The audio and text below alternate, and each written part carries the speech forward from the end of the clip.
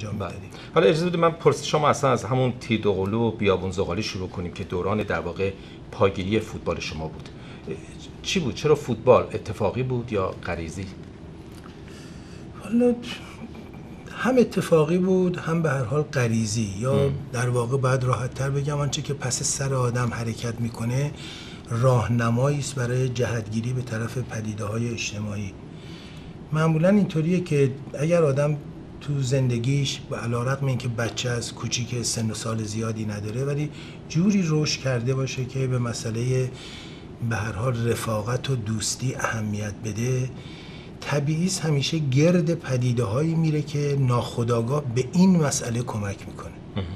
و فوتبال به نظر من بعدها برای من بیشتر ثابت شد که فوتبال جز وسیله ها یا در واقع بازی هایی است که همیشه دوستی و اتحاد و وحدت و و نیاز به همدیگر رو دامن می‌زنه دقیقاً. شما در زمین فوتبال نمی‌تونی اگر تکروی بکنی به حال اوت میفتی خارج میفتی به خاطر خودت هم که شده مجبوری همکاری بکنی.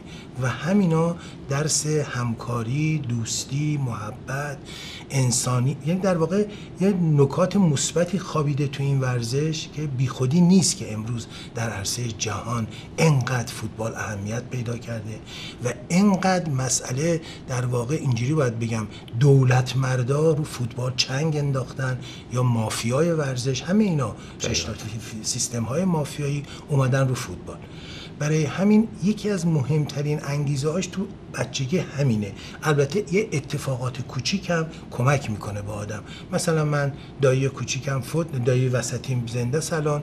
این با دوستاش می‌رفت با فوتبال بازی می‌کرد. منم بچه بودم. یکی دو بار برده بود با خودش. اونجا نداشتم منو گذاشته بود گله.